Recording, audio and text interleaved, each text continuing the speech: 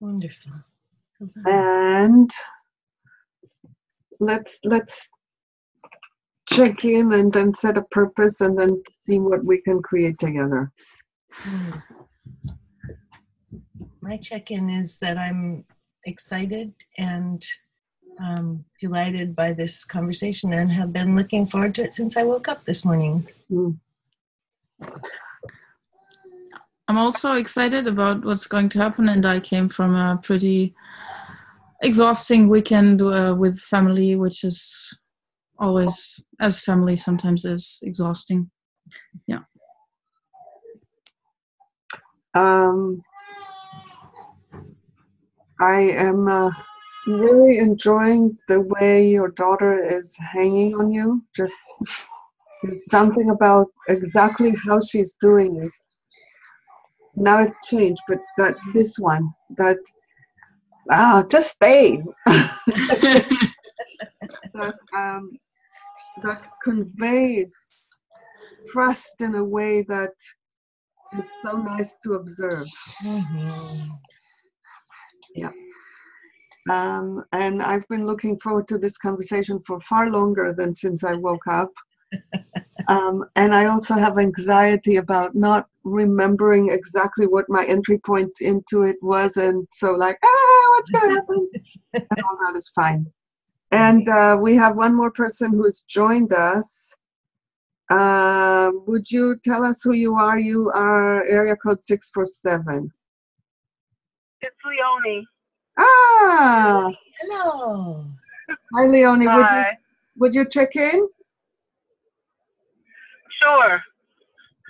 Um, I'm excited about having this conversation because it will um, help to bring me back into the spirit of being in Poland Yeah. and to connect with some of the just the, the awesomeness and sense of spaciousness and opportunity that was there. Mm, So that's my check-in. Wow. cool. All right, dear Sarah. All right, dear Miki. So um, you have it written down. I already forgot, but you have written down the purpose. Yeah, discussion of emotion words and nonviolent communication, relational language and neuroscience, avoidance and interdependence. Great. Mm-hmm. Do you have some thoughts to get us started? Sure. Ah, can count on someone in this world. Oh, um, what I've this this this my thoughts lately have been straying in, into needs as well. Um, and uh, one of the things that I've been working with is um, is the, the research of a man named Jaak Panksepp, who was an Estonian who grew up in the United States and did his research here. His research was about mammals and how mammals have seven different circuits that life energy runs on. And some of them are emotion circuits, so here's our emotion words, but some of them are motivation circuits Mm, that are not emotion circuits. So the seeking circuit, for example. that's neat. Yes, the seeking circuit is not an emotional circuit, and it has within it a, a capacity for predatory aggression, which in its purest form is hunting, but shows up in um, in human interactions in ways that are not so pleasant. Uh, experiences like uh, contempt or um, or the movement into bullying or um, or the a, a reactivity to a sense a, a disgust reaction a reactivity reaction to a sense that someone else is being weak so there's this this interesting thread through human relations that a- appears to be slightly devoid of a certain kind of emotion of the richness of emotion that we think of with the with the grief circuit with the with the anger circuit with the um with the fear circuit that there are these that, that there are kind of these swaths of emotion that connect us and then that the seeking circuit in particular takes us out of relationship into objectification uh, so uh, this is this is the area that I've been just deeply kind of grappling with and interested in and working with. Um, so, emotion words that sort of touch the seeking circuit would be words like curious, or, and if you add warmth to curiosity, of course, it becomes warmer, or interest. I feel interested, you know. There's a intrigued, this this sense of uh, of emotional um, I think what what what this particular exploration helps me with is a, a, a, bewilderment and a blankness that I have experienced with certain uh, states of seeking that I haven't found a lot of connection in and have been bewildered by. Why is there no connection when somebody is sort of academically curious? So I, I want to see that I understand, and, and in order to see that, I'm going to say different things oh, from yes. what you said. Yes. Um, so the thing that is that I am that is emerging from me is that these circuits are separate, which means that the seeking circuit is there is that the only one that is motivational and not emotional? sexuality also in its sort of purest circuit form doesn't have so much emotion connected to it and um, and care interestingly enough which has a lot of warmth connected to it uh, and then uh, and then also play so affection is with the care circuit and then happiness is with the play circuit but happiness is an emotion so now i'm confused because i thought you said that the motivational circuits are not emotional. Um, you can you can assign uh, happiness. Interestingly enough, is an is an emotion which appears in the left hemisphere. Uh, just a second. Uh, Kirsten, I want to turn off your video because it's very, the movement is very distracting for me. Thank you. Yeah, thank you. So, um, Say that last thing again. I didn't hear. Uh-huh. The seeking circuit is is basically the left hemisphere. The left hemisphere is run by dopamine. The seeking circuit is run by dopamine. The left hemisphere, when we when we close off the right hemisphere with electromagnets, or eh, um, when people ha- um, have uh, split corpus callosum, the left hemisphere is not a relational place. Mm-hmm it's a place that holds a couple of emotions. It holds the seeking circuit, and it holds approach related anger, and it holds um, and it holds happiness. And we have to think about uh, happiness in a particular way to understand it as a left hemisphere emotion. Delight really takes us into the right hemisphere, a sense of delight in another person's existence. We know that person exists.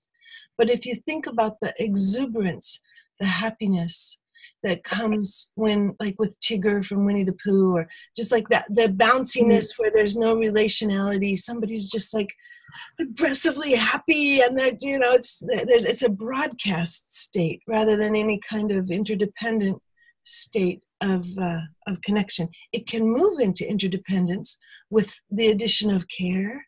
It can move into interdependence with the addition of delight, of awe. These okay. So, a relational state. Uh, so I'm I'm now getting more confused because it sounds like you initially it sounded like you were making the significant distinction was between emotional and motivational circuits. Yeah, yeah. and now the distinction that you're making is more about left and right hemisphere. I'm bringing them together yeah. That it sounds like all the motivational things are in the left hemisphere and some of the emotional things. So there are no there are no motivational circuits in the right hemisphere? The the right hemisphere it's that's not entirely true because care in a way okay. is an emotional is an is a motivational circuit.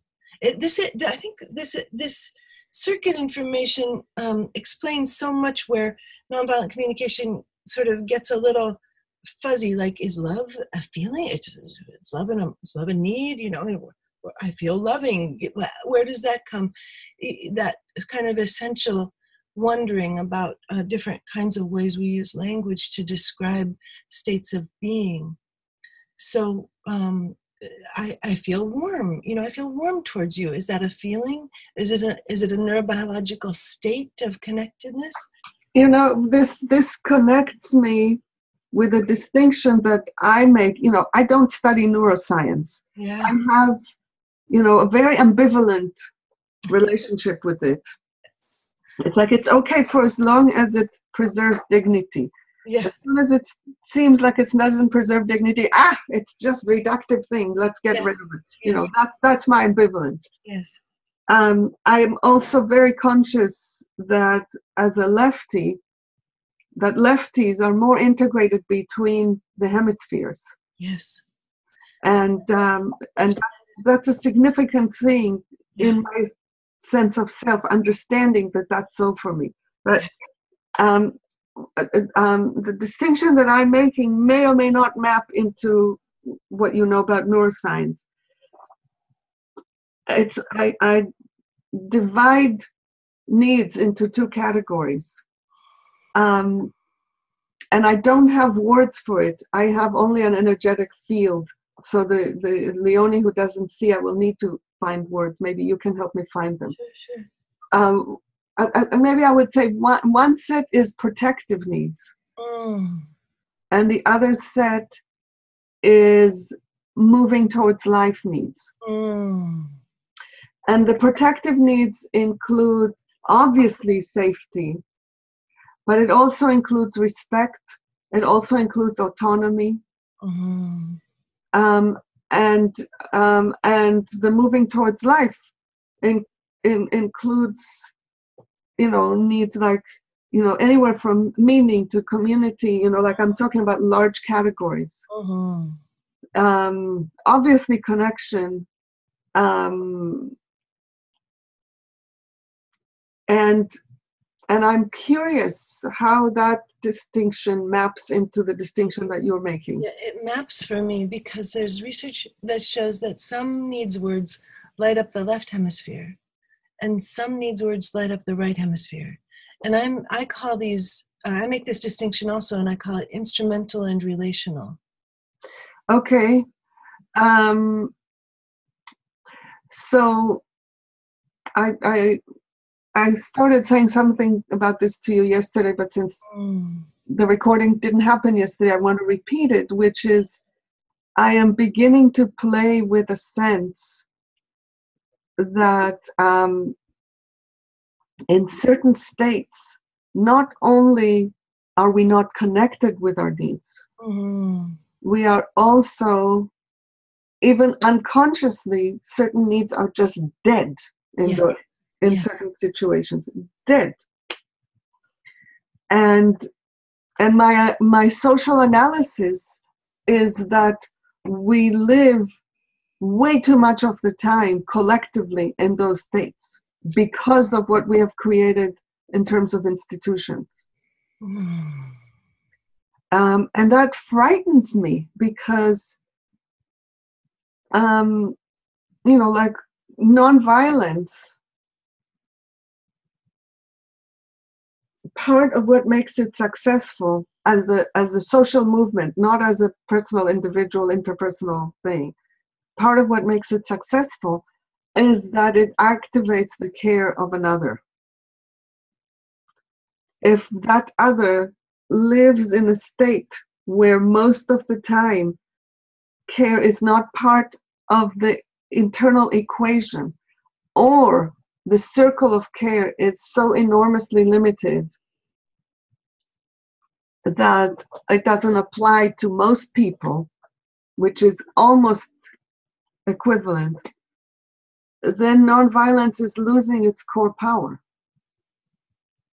I think we, I, I have to agree with you. I think we live in a very frightening world. and i don't think it was like this even 40 50 years ago i think that that you know patriarchy has been damaging from the get-go but the damage like all other functions that have started then is is a is an exponential function with a very small increment.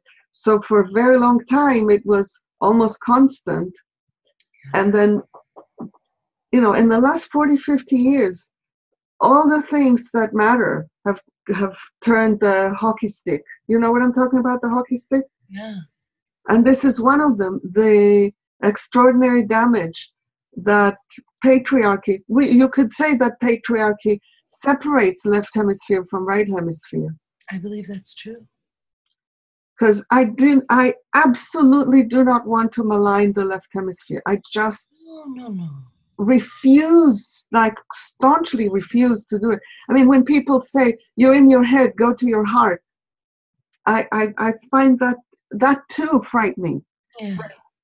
The, it's the separation between things, the non-integrated state that that patriarchy creates. Yes, and I love it that you named the limitation of the circle of who who matters.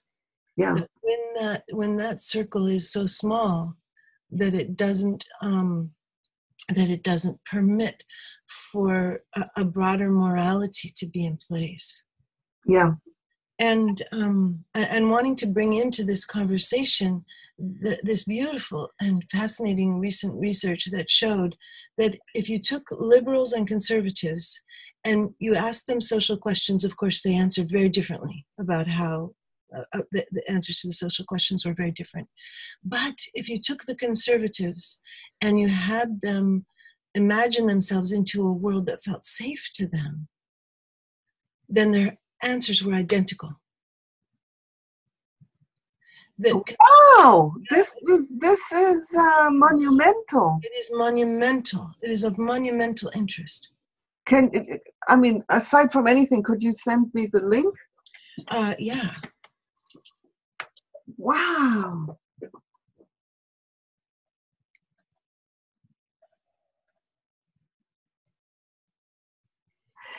And I also think that, that this, in that sense, that's a, that's a nice way to even say that the distinction between liberal and conservative is um, incidental.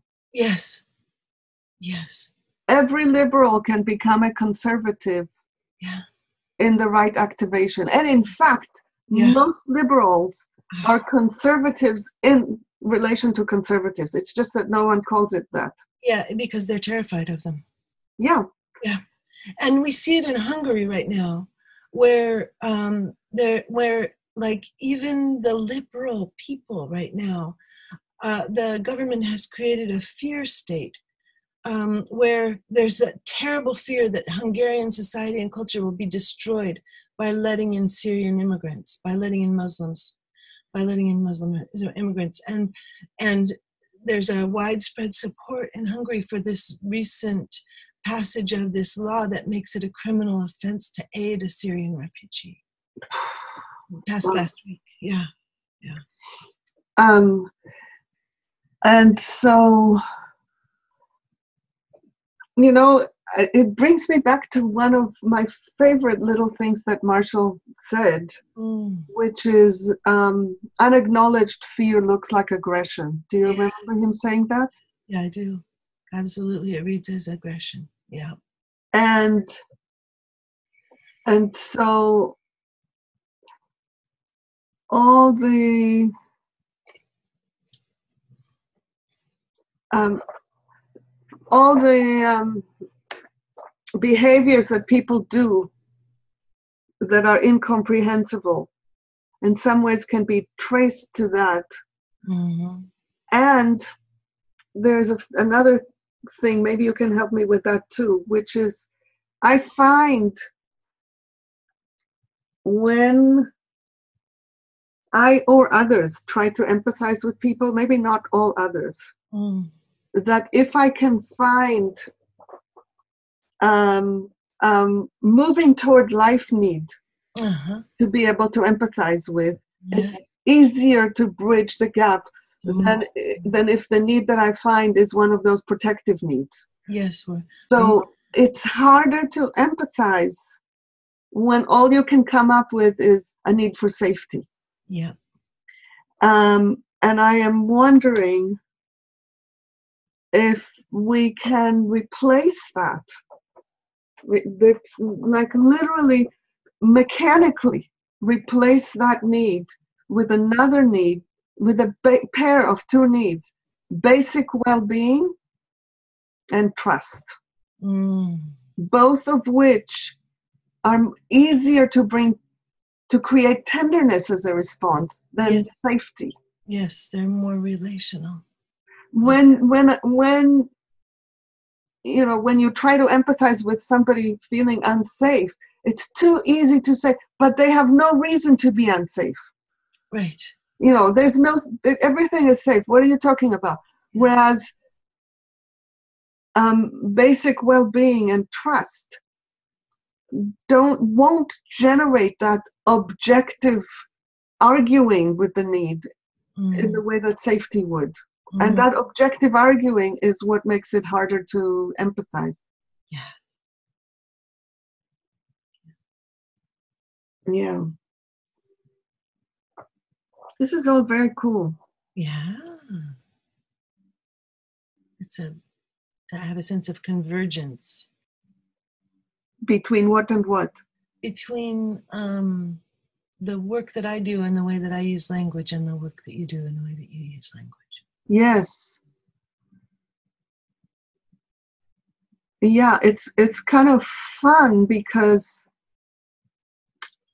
i see that you are doing things on a very individual level which Mhm. i'm not saying that critically i'm just uh, one individual brain Mhm.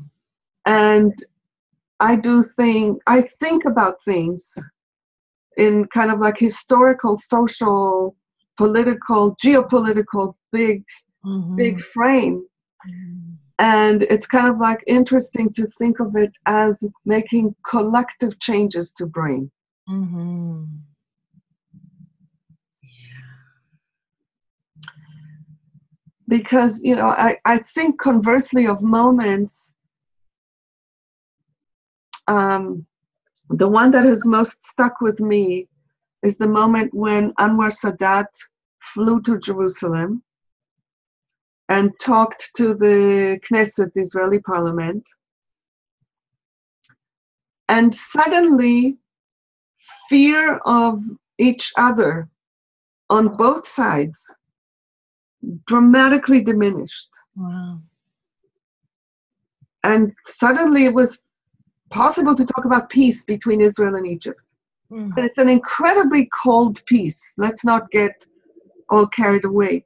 But something changed the field, Mm. and then people's nervous systems adapted to that very quickly Mhm. without having to do trauma release of war to Mhm. millions of people. Do you see what I mean? Yes. Because I, you know me, I don't have any hope that we can offer individual trauma relief to enough people fast enough. No, I don't think we can.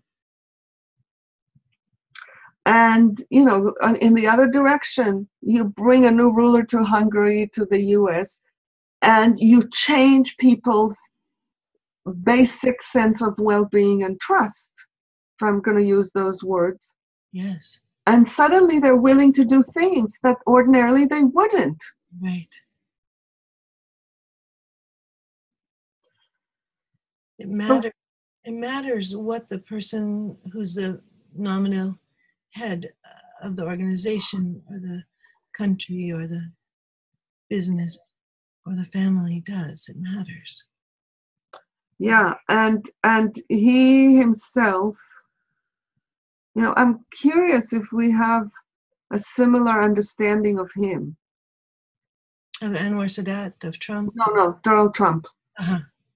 my sense of him is that he doesn't actually have a sense of self that there's a hole in the bag that's supposed to contain the sense of self so everything that comes leaks instantly and that he has no um, in, uh, fundamental sense of well-being or trust in anything.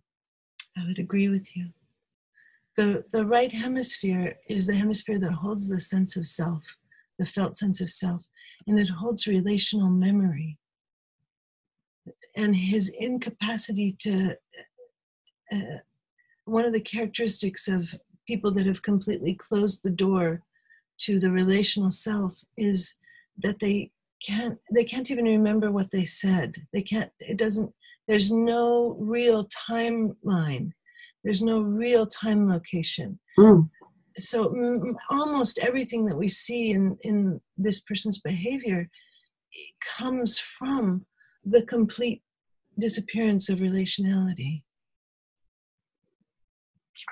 So now uh, connect for me fight, flight, freeze, and left hemisphere. Sure. Um, the, and this is the work of uh, Stephen Porges, who's the man who has done the integrative study of the fight, flight, freeze, um, and also a state that he calls social engagement.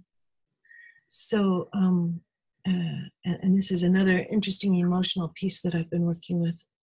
Um,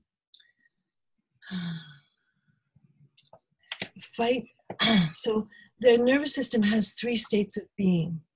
It has a state of being that's social engagement. It's where the heart rate is variable the facial muscles are engaged the eyes see human faces with ease ears tighten to the sound range of human voices. There's an engagement in relationship that comes when people have a sense of this fundamental well-being and trust. Mm-hmm. And when this is so then there's a then there's a movement into integration. We we're able to take action which is the, the left hemisphere is our action taker and it comes from it's founded in the energy of our deepest needs. So an integrated movement into space. When our system gets alarmed it moves into fight flight it moves into the fight flight strip of being. Activation elevated heart rate um, we lose the fine muscle feed to the face. Eyes don't focus on human faces. Ears don't focus on human voices. We're listening for danger and watching for danger instead of being tuned to relationality. So, in this experience of agitation, we make an almost complete left shift. Everything moves to strategy. Mm-hmm. When we move into fight flight, the whole system slips into strategy. This is one of the things I love, Miki, about something you wrote recently. You said, I am letting go. And I have already let go a lot. I am letting go more than I ever have to outcome. Do you remember Mm-hmm. writing that?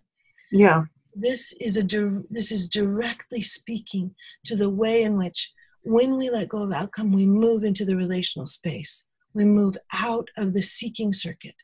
Mm-hmm. When we're in an, an outcome invested place, we want to move into this, we're moving into the seeking circuit because we want that outcome, which takes us out of relationality, which is why for me it was so profound that you mentioned this movement more than ever before into releasing outcome. Um, uh, hang on a second. I think Kirsten wanted to ask something. Okay. And which is, and I just want to, from my perspective, I don't know how it is for you. I'm very happy for Kirsten and Leonie to participate. Absolutely. Yes, Kirsten, do you have a question? Uh, it's more something I wanted to add on the the notion that when uh, suddenly something changes the field. Um, you were talking about the peace between Egypt and Israel, and uh, currently, I don't know if, if if you're okay for me adding this because I'm currently reading a book uh, written by Joanna Macy and uh, Chris Johnstone, and I just found this uh, so very curious, and I had a realization kind of um, because she wrote of an experiment where people were asked to fill out a survey, and then they enter. They had smoke come into the room, and when the people were alone, they very quickly acted and went outside, searched for help or anything. But if not, if they were there with other people filling out this survey, they first looked for what other people are doing. Mm-hmm. And um, what I got from this is that um, if so, when when we see other people acting, we act as well. If we don't see other people acting, we don't act. So by individuals acting, um, if if this crosses a, th- a certain threshold, even in a local bubble, then it can emerge very very quickly, and this can go quickly so exponentially that it, it changes behavior of people um, yeah pretty instantaneous. So um, that was just like like something that clicked for me that I found very very interesting. Mm, that yeah, it speaks, I think, to how essentially social we are. Thank you. yeah Yeah. and and it also reminds me that my growing sense is that in uh, intact indigenous cultures that are very relational there is also a highly developed sense of individual and individual self-trust and self-autonomy Mm, that that the whole structure that posits one against the other is completely flawed. That Mhm. already is from within the world of separation, in which being with others is at cost to self, Mm. and you, you know following self is a cost to relationships. mm. Yeah. Um, and I I now forgot what you were saying because I had a, a question to it. Sure, go ahead. I remember where I was, so no worries. Uh, just But I don't remember the question. If you Oh, say where you I'll were, back to where I am. Yeah, sure. So here we are. We have social engagement, where all where those relational needs, yeah, what you called them, uh, something else. Uh, I life, think relational relational is a subcategory of what I'm talking about. life serving. Like, like, um, I, I, I don't like that language, but moving towards life. Moving I towards- think of them. Okay. Because meaning is not necessarily relational, but it is in that category. Hmm. Uh, for me, meaning is profoundly relational. So I think you you Yeah. for you the word relational expands its meaning, Yeah. and that's fine. We, we are, yeah so needs so in that top swath of being in in social Yeah. engagement there's a lot of moving towards life yeah, then we get down to fight flight and there's um there's this Ah, I know what I wanted to what I wanted to say now, which is um in my own investigation of the spirituality of NVC, what is unique about the spirituality of NVC as compared to other forms of spirituality? For me, I, I think you may have heard this. I call it wanting fully without attachment. mm, So it's an it's an integrated state. yeah So uh, there's something about saying that, you know, letting go of outcome is I'm no longer in the seeking circuit doesn't feel true to me. Mm, It's for me, it's an integration of the seeking circuit mm, with care, with care yeah. With um, uh, humility, with other states that Mhm. allows me to be as fully passionate about what matters to me Mm, without being in that locked thing of it has to be this way. So mm. that i was i was just advocating for for integration yeah non-malign it's kind of like the seeking without an unintegrated seeking circuit is the danger not the seeking circuit itself. Yes very true. Uh, very true and quite beautiful or it ne- ne- needs for beauty for me. So let me finish here because there's something Yes. else that i've been exploring with this concept that i think is hugely important and speaks to both of our concern about the western world um, and then the final swath of experiences when people give up hope and they move into immobilization so that's been traditionally called freeze but uh, Stephen Porges calls that swath of experience immobilization, in part because freeze gives you the sense of tonic immobility, where immobilization can be a collapsed immobilization, a limp immobilization. And, um, and so there's more complexity in the word immobilization than in the word freeze in a way. So we ha- so we have these three ways of that our nervous state uh, is in relationship to life, in relationship to others, and so, what we see with the conservatives, if we're taking seriously this fear research, is that they are in flight, that they are in the fear response, and they're they're stuck in a swath of experience which doesn't allow them full expression of their inner being.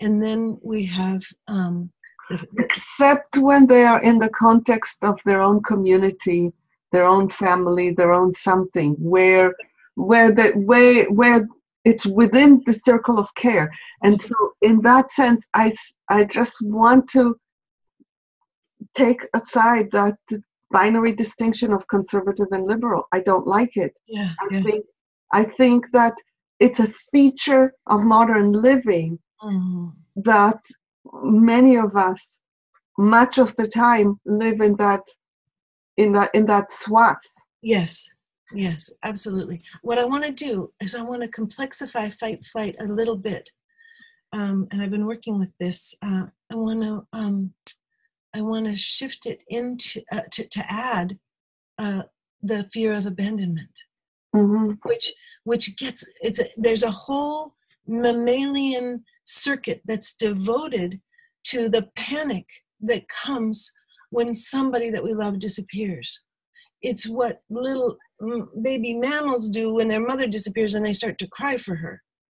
Um, but it's but it it it, it car- that whole circuit carries our sadness and our grief. And we're ellipsing an entire swath of agitated grief it's it doesn't even appear in our english vocabulary.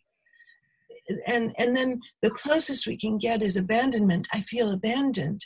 But then that is to, in nonviolent communication we're told that that's a faux need that that's not a true need because it's implying that some, true feeling you mean? Oh sorry feeling. Because we're told that it's a faux feeling because somebody we're implying that somebody else has done something to us and no one can do anything else. Oh this is so cool yes this is the heart of our of our intention i think for this conversation and and so I want to bring in a body of um, reading that I've done that I think you haven't yet uh, from Humberto Maturana. I told you about this book, The Origins of the yes i have it on my reading list yes Uh, so um, uh, the briefest thing from there that is relevant to this is it says that mammals have two modes a mode of love and a mode of dominance and submission.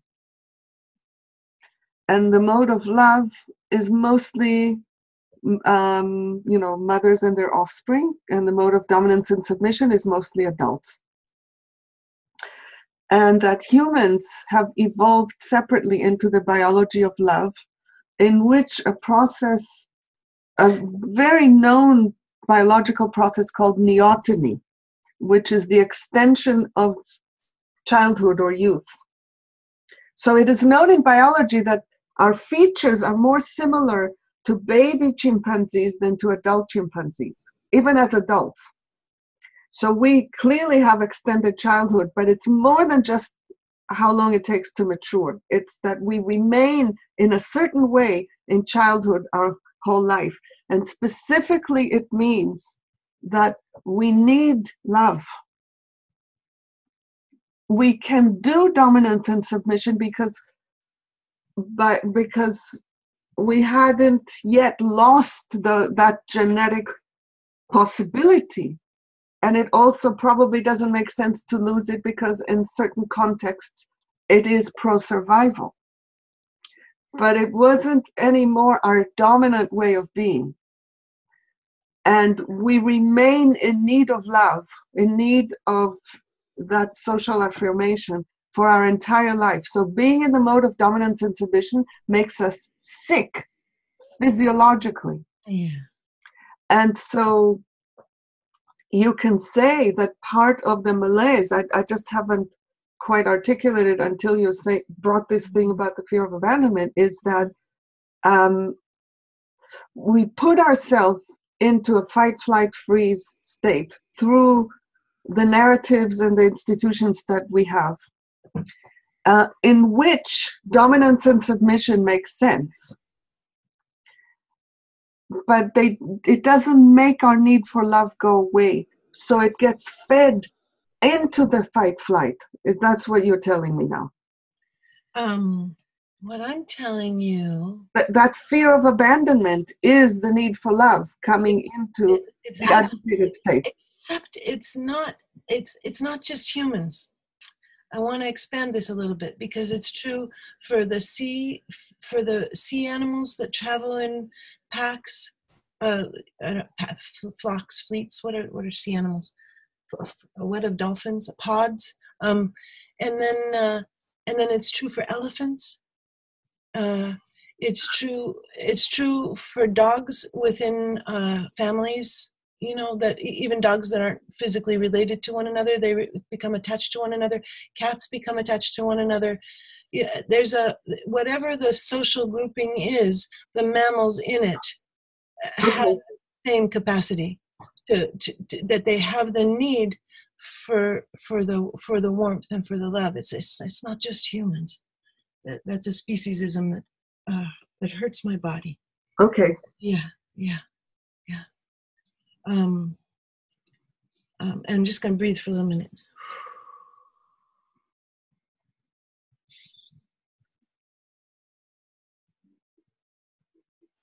Yeah. So, indeed, the the need for love is is in that swath of uh, of, of agitation, and we don't. Ha- and what I wanted to say there is that we have so few words that capture it that even when we talk about fight, flight, freeze, we're implying that it's anger and fear. We're not even making room for the panic of loss. In our in our language, it just shows up everywhere that we ellipse grief as a panic state entirely. The only place it's allowed to show up in our society is down in the freeze swath.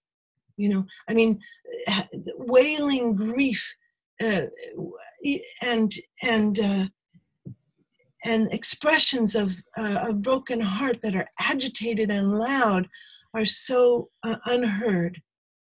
In, yeah, I'm once again wondering what it is when we are integrated.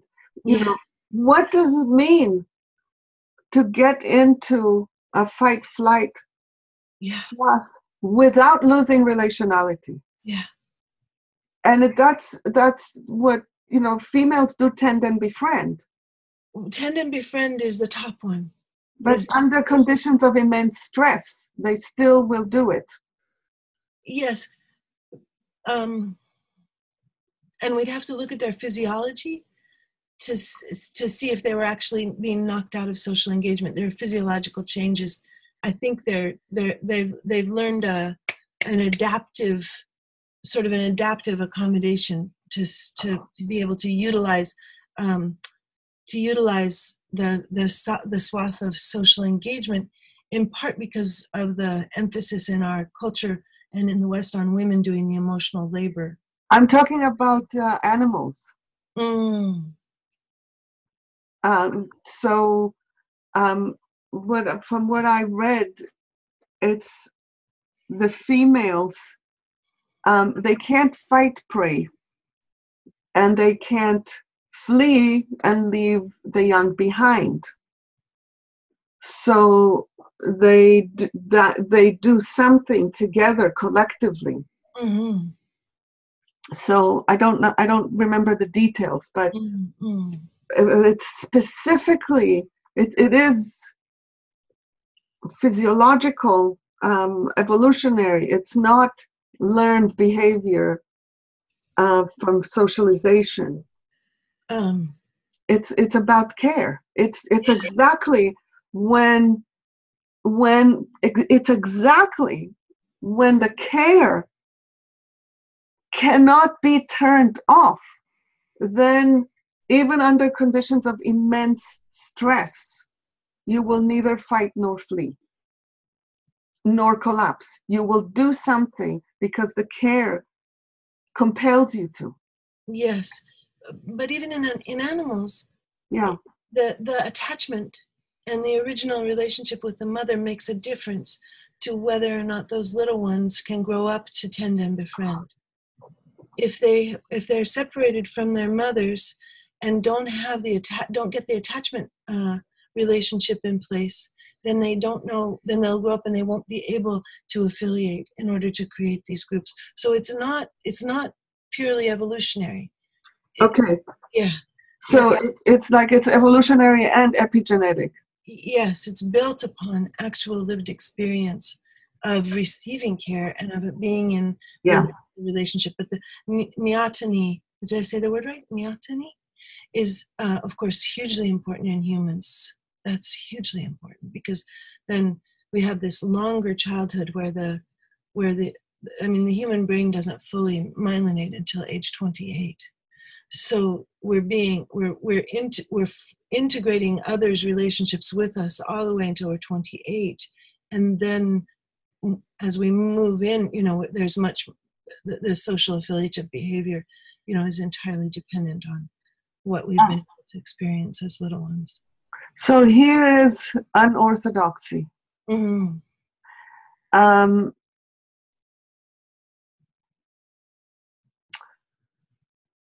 so we are saying, and I believe it's true, that whatever happens, we make meaning of it, and that is what generates the feelings.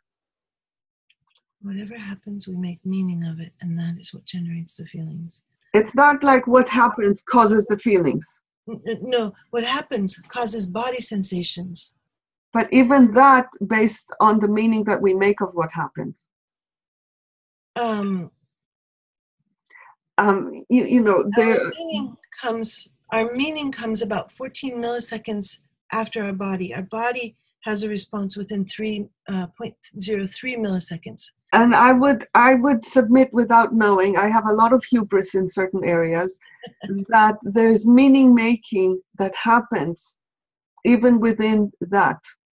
And even meaning making to evaluate danger or not danger.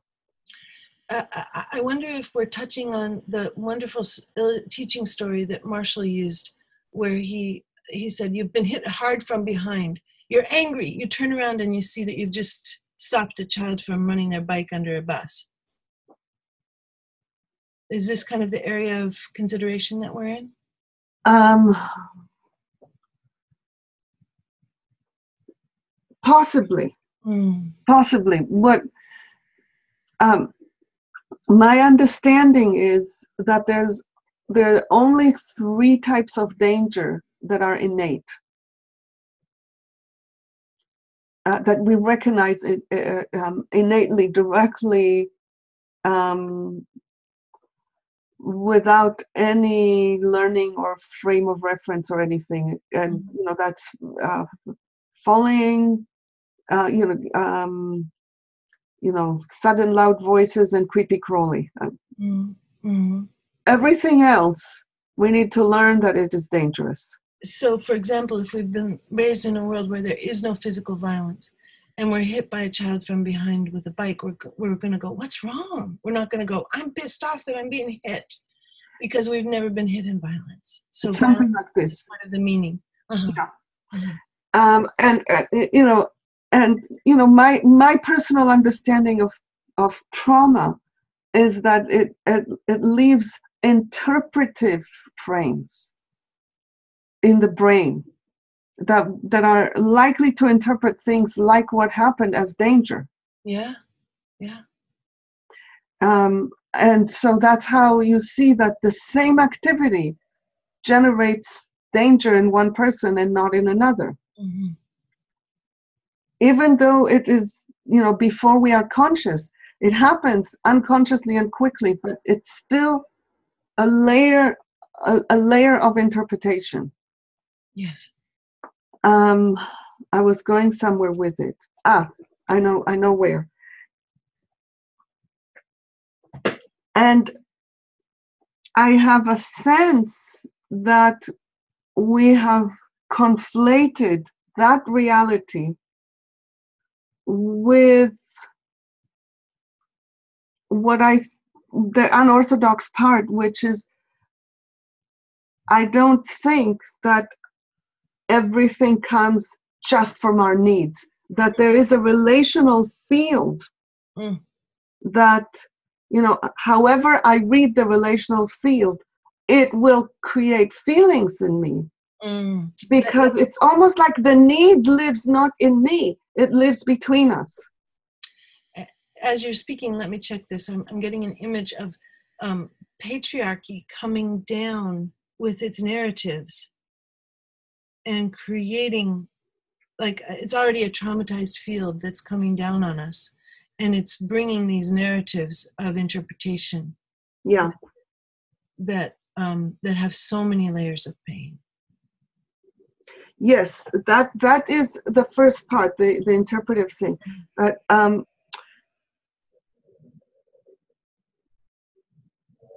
I, I but the the thing that I was saying about the need is I, I it's a it's a brand new thought and I don't even You said unorth. or You said so to, to say I'm abandoned and to and then to say that's not a feeling I understand one part of why it's not a feeling is because it involves an interpretation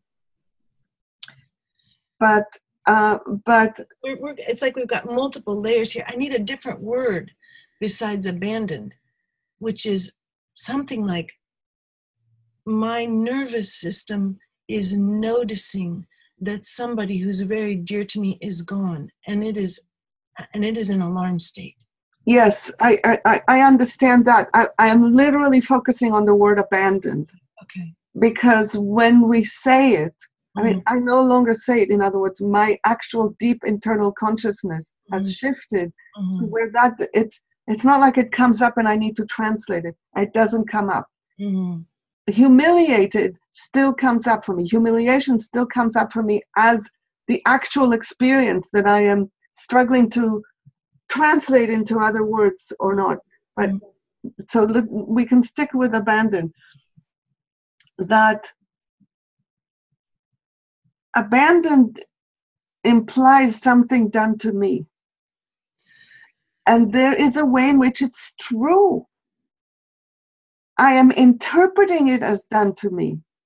But once that interpretation is there, it is from the outside in. I don't even I, I don't know how to finish those sentences. I'm I'm my words are not conveying what I'm trying to say. Um,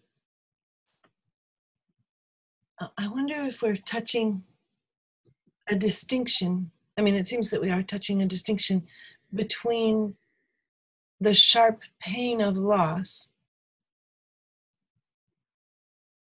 and our nervous systems like being in an alarm state because of the loss. And um,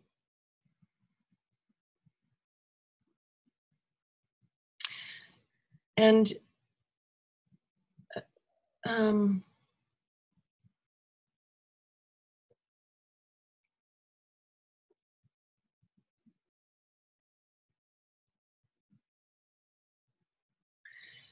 and the implication so that uh, just tracking with you a little bit that that in the word abandoned there's an implication that someone has done something to you. You've given up the use of this word entirely because you see with such clarity let me check this you see with such clarity that nobody's nobody is intending harm that the intention for harm that the intention to leave is not there that when leaving happens it's tragic but not that there's no aspect of intentionality Yet the language, if we use that language, it retains an implication that someone is intending harm.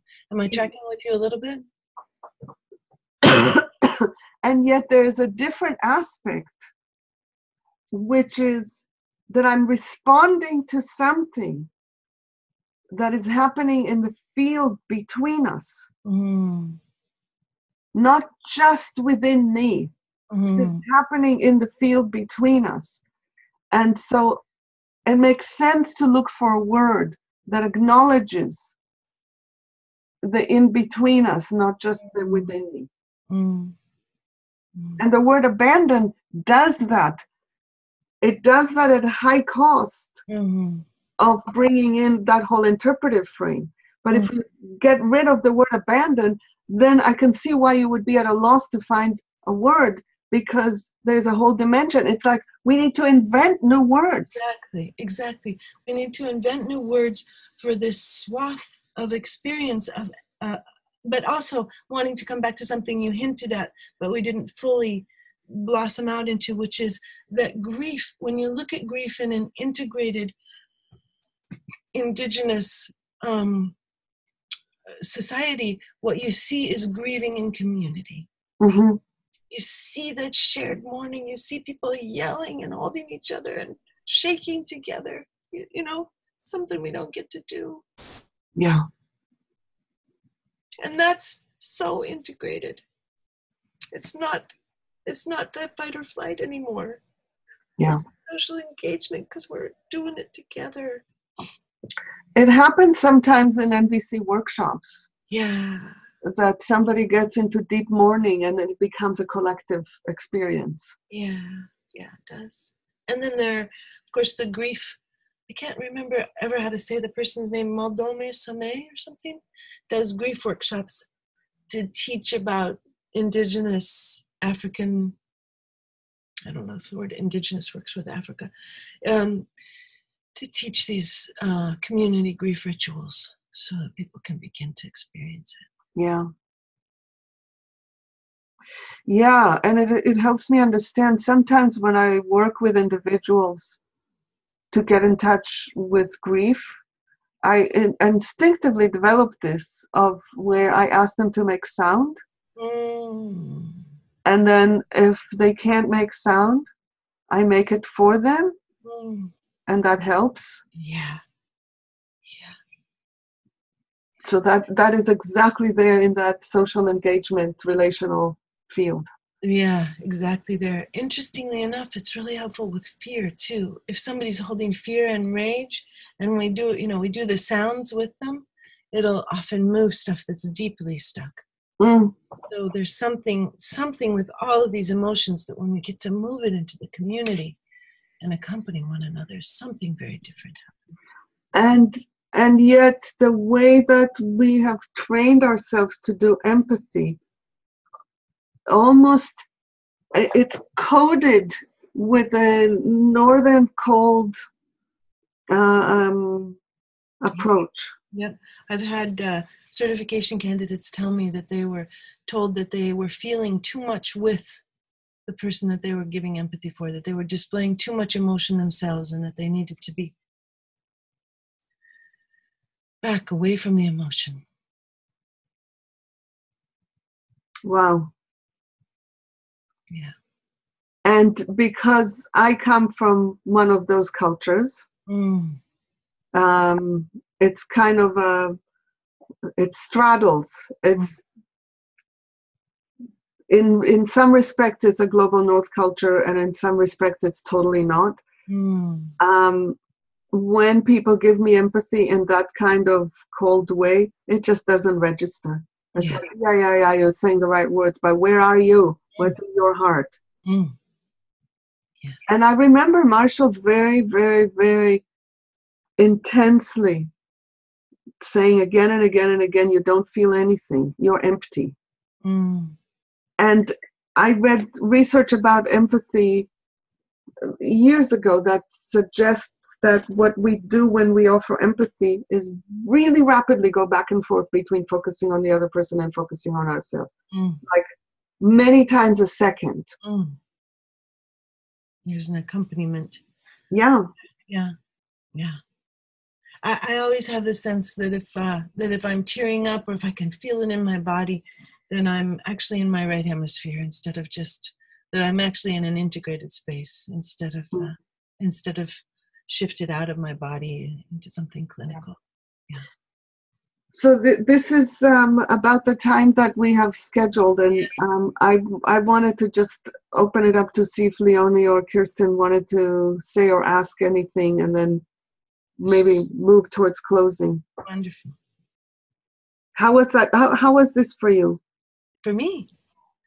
Uh, it was uh, very satisfying. Cool. How Okay. was, how was it for you? Very rich, and it's kind of like, are you kidding? We're done? No.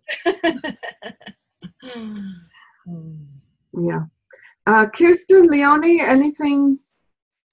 Any questions or comments?